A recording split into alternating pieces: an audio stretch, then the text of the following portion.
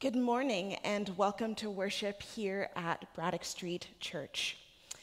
We are a church where we make followers of Jesus Christ through loving God, loving others, and serving the world in mission. We're so glad that you are here with us this morning. I am Annalise, I'm one of the pastors here, and I will be with you all in the Facebook comments today. So if you've got prayer requests or anything like that, you can let us know, and we will share those prayer requests later on in our service. Also, if you are new to us, there is a digital contact card that is linked there on the Facebook page. You can fill that out and let us get to know you a little better. So we are so glad that you are with us in worship today. And we are going to start off with our call to worship. And you will hear, hopefully, the voices of our uh, wonderful tech team and our musicians and Pastor Kirk on the congregational pieces. So let us now join together in our call to worship. O Lord, how manifold are your works! In wisdom you have made them all the earth is full of your creatures. May the glory of the Lord endure forever. May the Lord rejoice in his works. Who looks on the earth and it trembles? Who touches the mountains and they smoke? I will sing to the Lord as long as I live. I will sing praises to my God while I have being. And now let us join together in our opening prayer. Creator, Spirit, and Giver of life, make the dry, bleached bones of our lives live and breathe and grow again, as you did of old. Pour out your Spirit upon the whole creation. Come in, rushing wind and flashing fire, to turn the sin and sorrow within us into faith, power, and delight. Amen. Now, please enjoy this opening song by our praise band.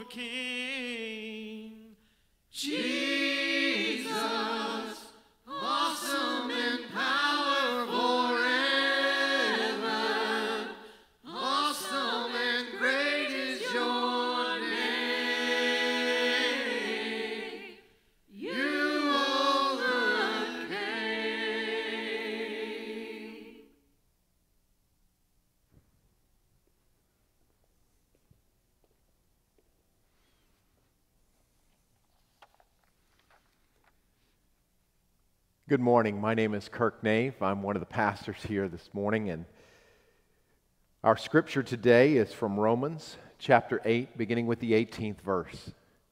Hear now the word of our God. I consider that the sufferings of this present time are not worth comparing with the glory about to be revealed to us. For the creation waits with eager longing for the revealing of the children of God. For the creation was subjected to futility, not of its own will, but by the will of the one who subjected it, in hope that the creation itself will be set free from its bondage to decay and will obtain the freedom of the glory of the children of God. We know that the whole creation has been groaning in labor pains until now. And not only the creation, but we ourselves who have the first fruits of the Spirit, groan inwardly while we wait for adoption, the redemption of our bodies. For in hope we were saved. Now, hope that is seen is not hope. For who hopes for what is seen? But if we hope for what we not see, we wait for it with patience.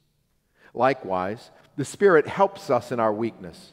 For we do not know how to pray as we ought, but that very Spirit intercedes with sighs too deep for words.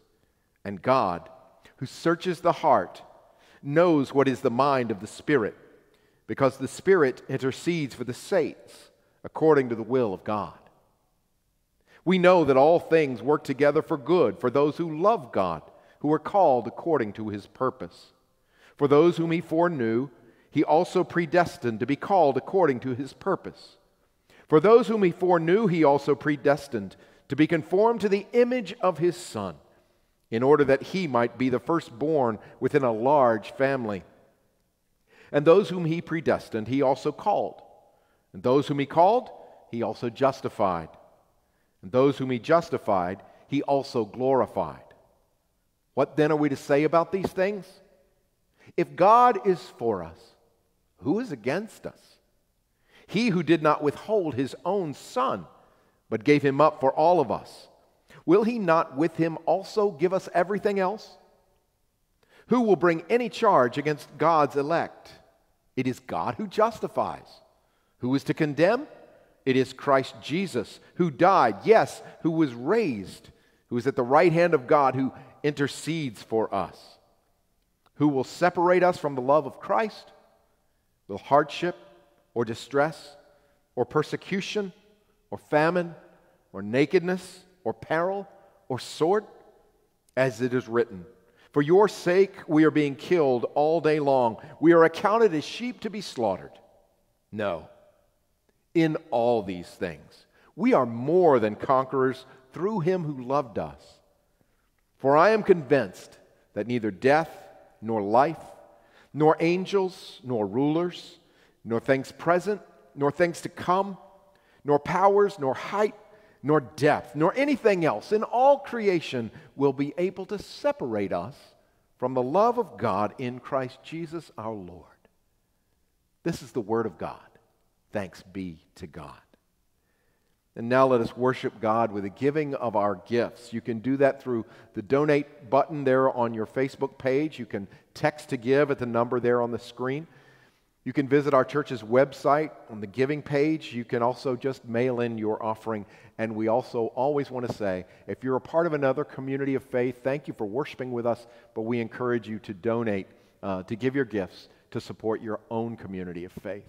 Now let us worship God as we offer our gifts and join together in listening to this wonderful music.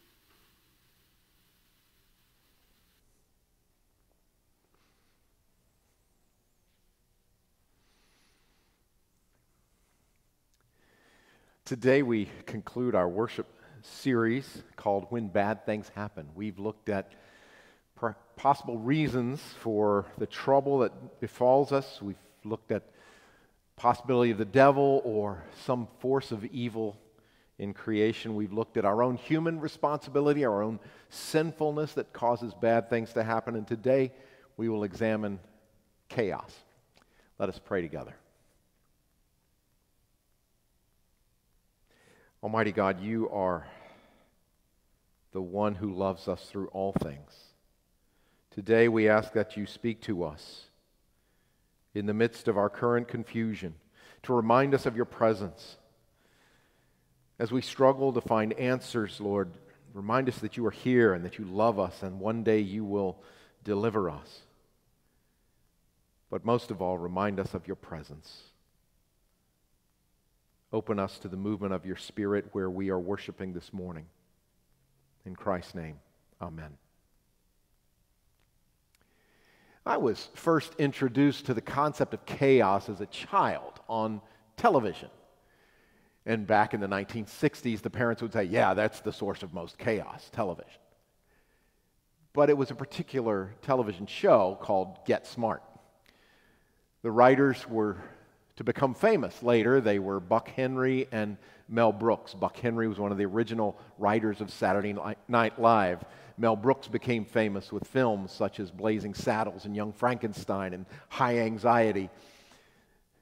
But this show uh, was a parody on things like the James Bond films, the, the spy genre that was popular in, in entertainment at the time. And so this was all, all for fun, and the show has left us with memorable phrases like, missed it by that much, spoken by Agent 86, Maxwell Smart. But what, I, what was interesting was the protagonists were organized in an organization called Control, patterned after our Central Intelligence Agency. And the antagonist was this group here that you see on the screen Chaos, spelled with a K, I suppose, just to drive English teachers crazy. Um, just the concept that there's this organization, an inter, international organization of evil, they called themselves, just a, some kind of personified, identifiable group of people that were causing all the trouble in the universe. And it was funny to think of chaos in that way, but the reality is, chaos is no laughing matter. Chaos is those random events that seem to just come upon us. This, the idea of a disorganized universe that causes immeasurable pain. Biblically, it is represented in the first Old Testament references as, as water. You see it here in Genesis chapter 1, verse 1.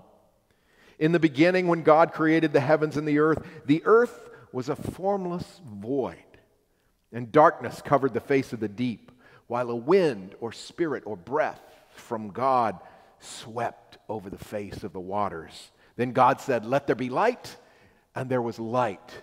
There's a powerful image coming through here that the universe is filled with randomness, a formless void, waters that are filled with mystery, chaos. And in the midst of that, God speaks and the word of God brings order. Let there be light, and there was light. It is God who brings order in the midst of a universe that has within it chaos. And yet, as God creates and brings order, there's still, in our day, there remains disorder, chaos that causes pain, hurricanes. They've always been with us, right? Lightning strikes and resulting wildfires across the American West, tornadoes, plagues, pandemics, seemingly random things going on in the universe, and we really can't explain where they come from, why they exist. Oh, yes, science helps us to understand some of the what's and the whys, but ultimately, why do these things exist? Not just the ones on a global scale, but those individualized episodes of chaos like cancer, strokes, dementia, tragic accidents. Even St. Paul acknowledges the existence of, of chaos or, or something wrong within creation that needs redemption. Listen to what he says here in Romans 8, verses 19 to 23. For the creation waits with eager longing for the revealing of the children of God. For the creation was subjected to futility, not of its own will, but by the will of the one who subjected it, in hope that the creation itself will be set free from its bondage to decay and will obtain the freedom of the glory of the children of God. We know that the whole creation has been groaning in labor pains until now. Not only the creation, but we ourselves, who have the fruits, first fruits of the Spirit, groan inwardly while we wait for adoption, the redemption of our bodies. You see, St. Paul is talking about, yes, our redemption, and that's the overarching theme in much of Romans and also here in Romans 8. But he reminds us that we are a part of creation. We are creatures. We're not the creator, right? We're just creatures. We're a part of this universe that God has created. And in the midst of this creation, there, there seems to be built within it this disorder, this chaos. Everything decays. Our bodies aren't here forever. Yes, they're the early years of our lives where we get stronger and we learn more, and, we, and yet we hit another part of life where everything just seems to fall apart, right? I'm hitting those years where the older I get, the more things seem to be falling apart. You love that, at least I do. I love that phrase that Paul talks about where the whole creation is groaning in labor pains, just waiting with great expectation for something, a new birth to happen where this world is no longer falling apart, but is, is, is put back in its right order and becomes dependable. In the meantime, everything just decays. Human beings, plants, right? They have a life cycle. They, they come and they grow, and then they decay and return all those chemicals to the earth. Even buildings have a life cycle. I didn't realize that until I was much older. I, I, have a friend works for the Army Corps of Engineers who was telling me about this, this book that he had read called Rubble. And the, the life expectancy of a building in the United States is about 35 years. You know, even mortar has to be pointed up. Roofs have to be fixed. Water heaters have to be replaced. Buildings will eventually fall apart. Even though we think we're building something permanent, no, it will decay. It seems the universe itself has within it this, this tendency to just break apart. If you go back into the archives of my own high school yearbook, you'll, you, you will find that in my little senior quote, I quoted a baseball player known as Tug McGraw. Most people know his son, Tim McGraw, the country singer, as being more famous. But Tug McGraw had just come off, you know, a, great moment of his career. His team had won the World Series, and he'd had a big part of that. And the sports writers were all around him. How does it feel to win the World Series and to have done everything you did? And you have to know Tug McGraw.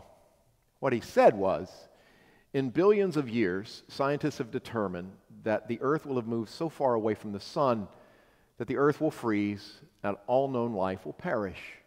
And by that time, who cares? yes, that's my quote in my high school yearbook because I just had that, you know, adolescent attitude at the time. But you hear what he's saying. The universe itself eventually spins out of control. We know that's coming. And what do you do with that? How do we interpret chaos? Any of us who've, who've had to really read through the fine print of an insurance policy the insurance contract in itself talks about acts of God. And as a pastor, I always shudder. Why are you saying that's an act of God? And they're referring to tornadoes, hurricanes, and these kinds of things where a building might be destroyed, property will be destroyed. It's an act of God? Really? Is that how we interpret chaos? It is God who brings order into chaos, not the other way around.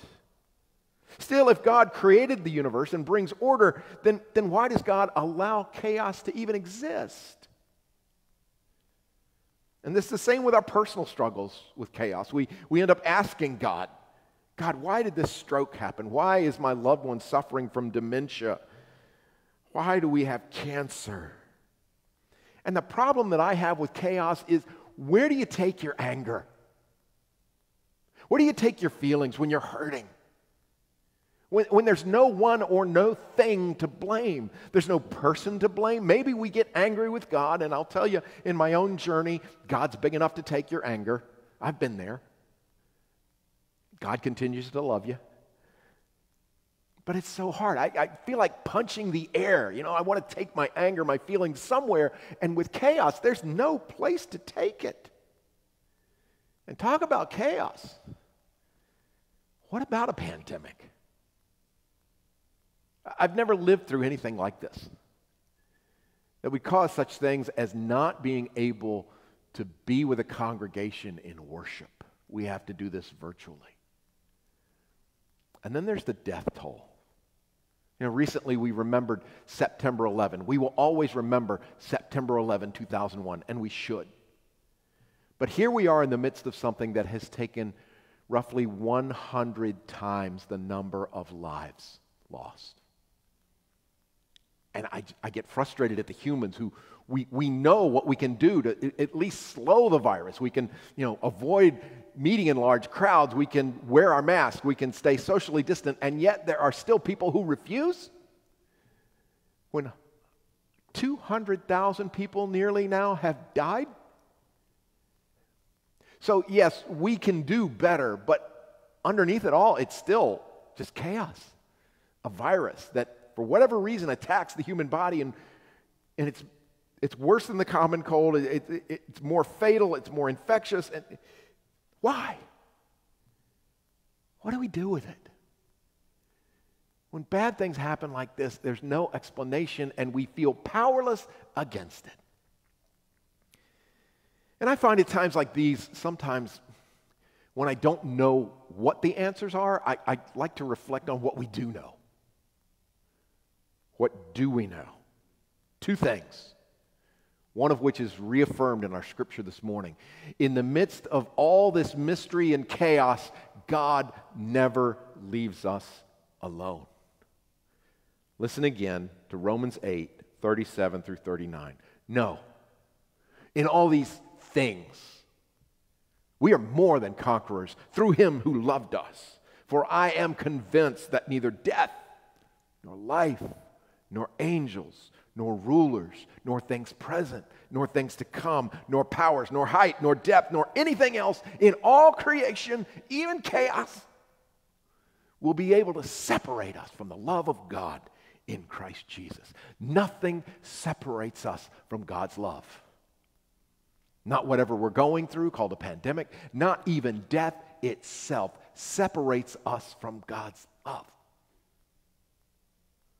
So, in the midst of the pandemic, in the midst of all these unanswerable questions, know that you are never alone. Know that you are loved by the very one who created you, the one who holds all these mysteries in the palm of his hand. That's powerful, isn't it? For me, it's enough to get me through. Trusting that God will deliver, and in the midst of all of this, God still loves me. Still, in the midst of that, there's a temptation to say, well, what do we do with that? In the meantime, do we just resign ourselves to the power of chaos and evil in the universe and just do nothing? There's something else I've come to learn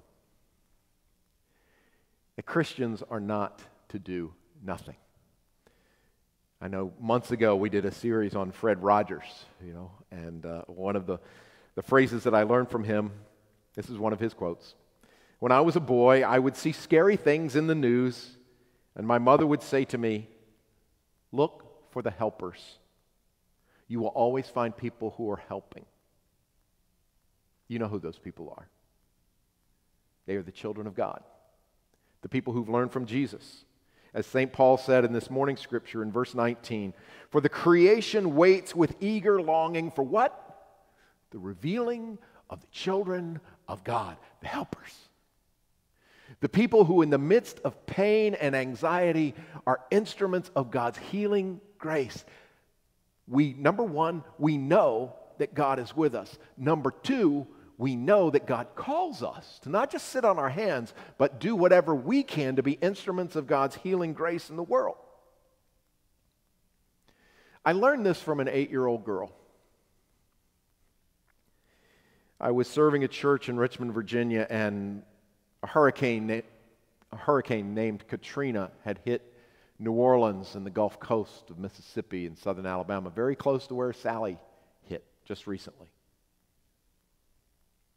It was one of those times as a pastor where I had everything prepared for worship. I'd already written my sermon and everything, and I think the hurricane hit on Thursday or Friday. And I just threw the sermon out the window and dealt with this thing chaos, random forces of evil that damage our lives, things that we can't explain. And I remember saying that Sunday morning, I don't know why this happened, but I do know that you and I will do something about it. So I got a call that week from one of my church members, a parent. She said, You'll never guess what my daughter did. After church on Sunday, when you talked about Hurricane Katrina and all that it had done to devastate lives in New Orleans and other places, we caught her with her little brother and a cooler going down the driveway. And we said, Sarah, where are you going? She said, I'm going to sell Go-Gurts. I got Go-Gurts in the cooler. For those of you don't know, Go-Gurts like yogurt in a, in a tube that kids tend to like. So she was going to go to the corner and sell Go-Gurts. Why are you doing that? Because we're going to help those people in New Orleans. Eight years old. With their five year old brother in tow, by the way. Ready to go out and take on all the evil in the world, to do whatever they can. Now, of course, you know what happened. All I had to do was tell that story to the congregation the next Sunday, and the congregation raised $17,000 in one day just to help people in need because that's what children of God do. In the midst of even unexplainable evil, the children of God become instruments of God's healing grace in the world. You don't have to be 60 years old. You can be eight years old and understand that. And you can be eight years old and do something about it. There's two things we know. In the midst of chaos, God always loves us. God is always with us. And secondly, the other thing we know is God calls us to do something. Let us pray. Holy One, save us from resignation to the power of chaos and evil in the world. Save us from being paralyzed, thinking that we are powerless, for we have your power to fight the struggles of life, to fight the struggles of our society. You have given us your Son, Jesus Christ, to show us how to love, to offer loaves and fishes when it never seems to be enough, and yet with your power, multitudes are fed, multitudes are healed. Now is the time we know that we are to be church. We are to be a community of faith that gives witness to your never failing love and your power to overcome all types of evil. Move within us, Lord, that we as a church might be instruments of your healing grace. May we be that revealing of the children of God that creation can't wait to see. In the name of the Father, Son, and Holy Spirit, let us continue in a spirit of prayer.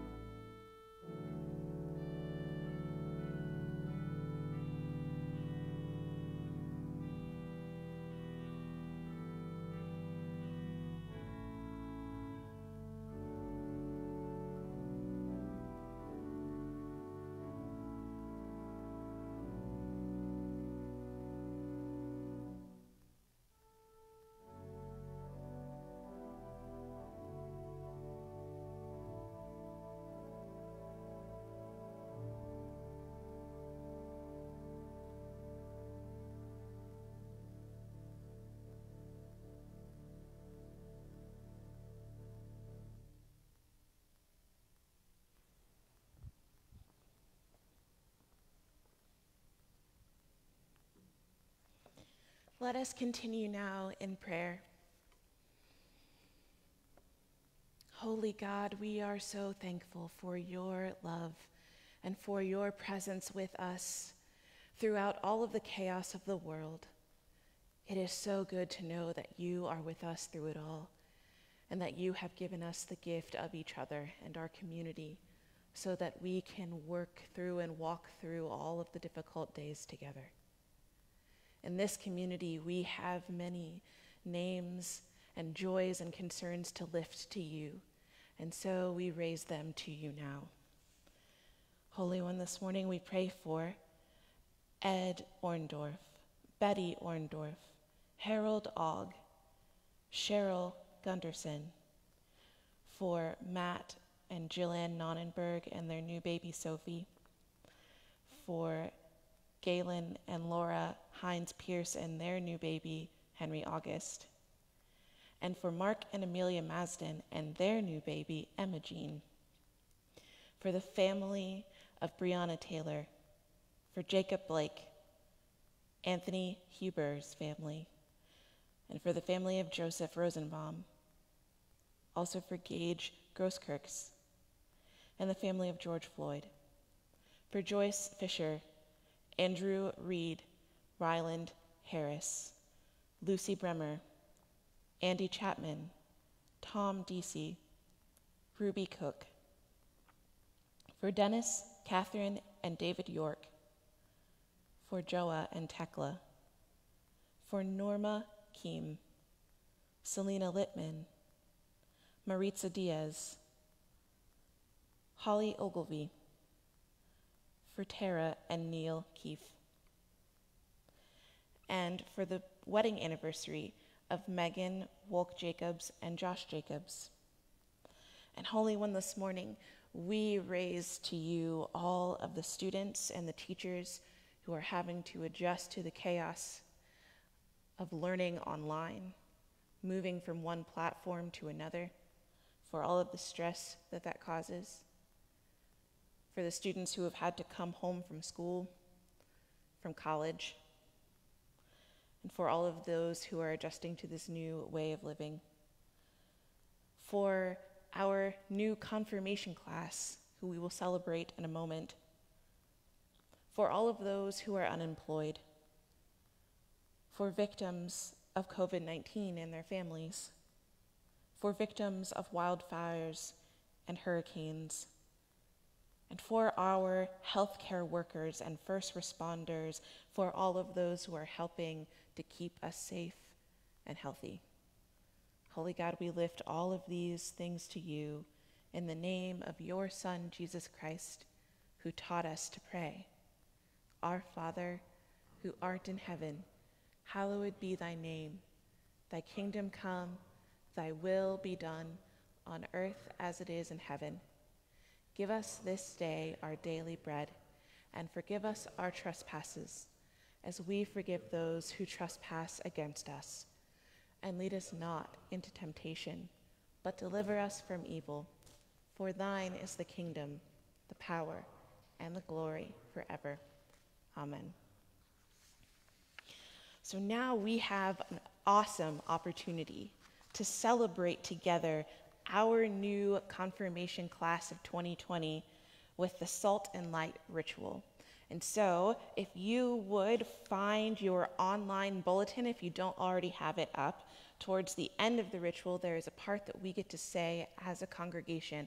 And so, from wherever you are this morning, we hope that you will join in and give this prayer and this blessing to our confirmands. And we know that the Spirit of God is going to fill their hearts throughout this process and that they will be able to, through that Holy Spirit, feel your prayers and your love and support this morning from wherever they are as well. Let's join them now.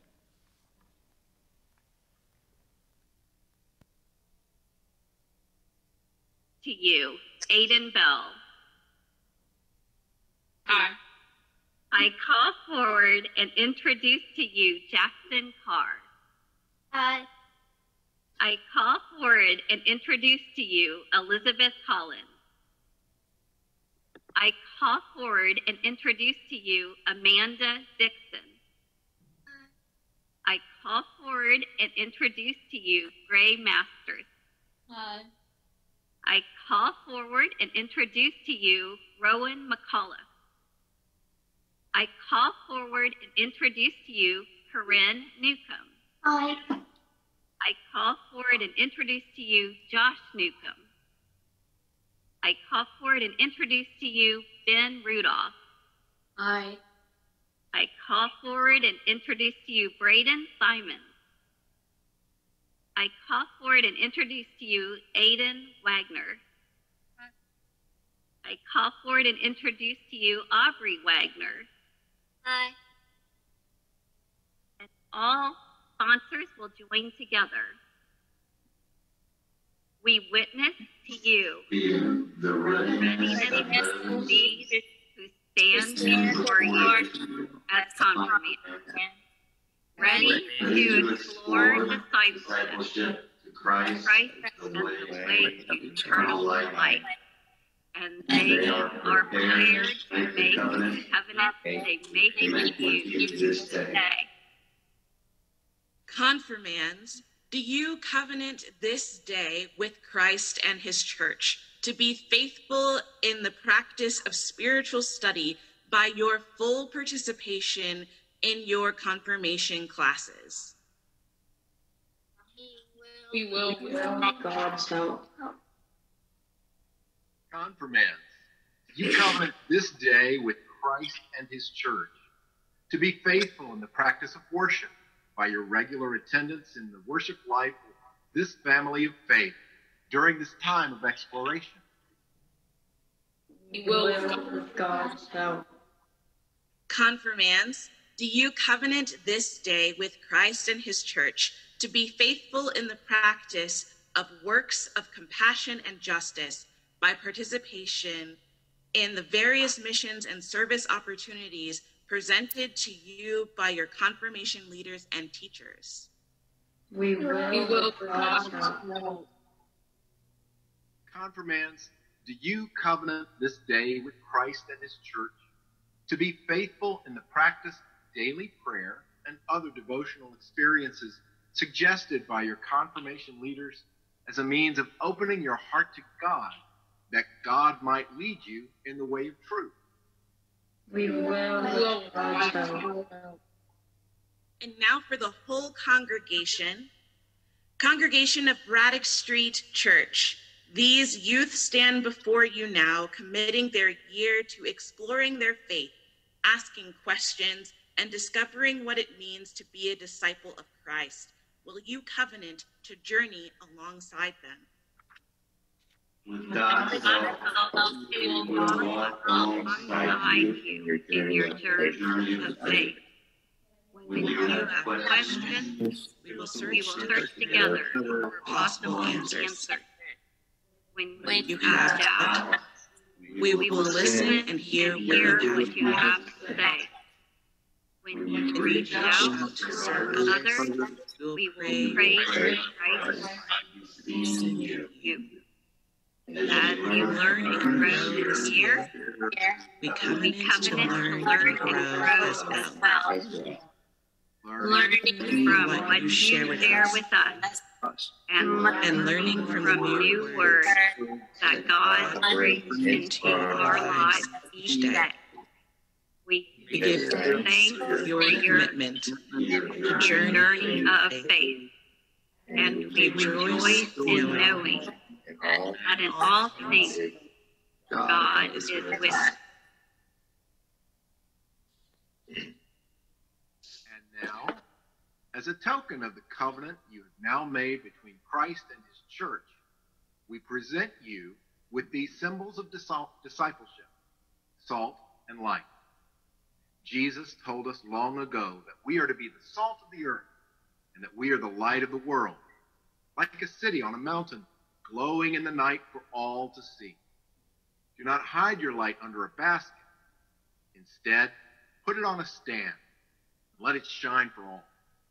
In the same way, let your good deeds shine out for all to see, so that everyone will praise your heavenly Father. We now place you in the care of your confirmation leaders to explore for yourselves the way of truth, love, and faith. Now go and become salt and light.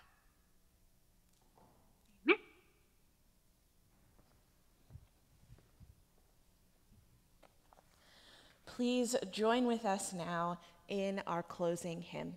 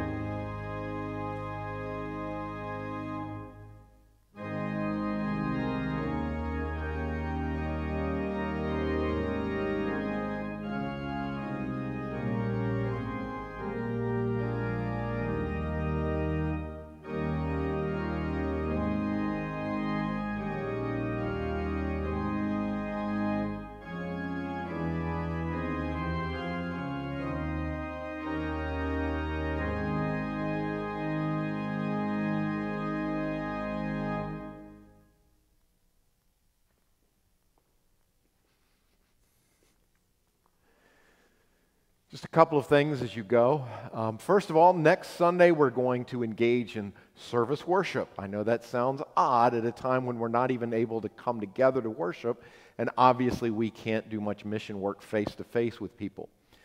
But we're going to be collecting goods after worship. You can come here by the church. We will be collecting goods for CCAP and for the Winchester Rescue Mission here in Winchester to help those who are most vulnerable especially now during this time of crisis.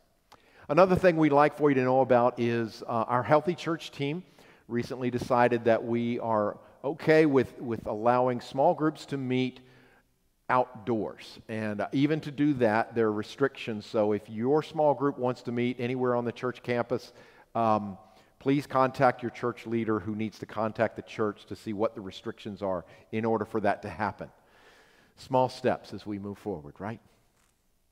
But now go to join with these confirmands who are joining alongside of us to be the children of God in a time of chaos, to be instruments of God's healing grace in the world, trusting that God will deliver us and in the meantime empower us to be agents of change and love and grace. Go with the blessing of God the Father, Son, and Holy Spirit. Amen.